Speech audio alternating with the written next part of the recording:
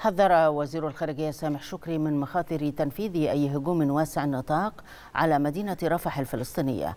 وخلال لقاء مع نظيره الأمريكي أنتوني بلينكن على هامش اجتماعات مجموعة العشرين بالبرازيل جدد الشكري رفض مصر القاطع لأية إجراءات تفضي إلى تهجير الفلسطينيين خارج القطاع لما في ذلك من تصفية للقضية الفلسطينية وتهديد للأمن القومي للدول المجاورة. كما أكد شكري على ضرورة الوقف الكامل لإطلاق النار والبدء في حوار جاد حول مستقبل التعامل مع القضية الفلسطينية.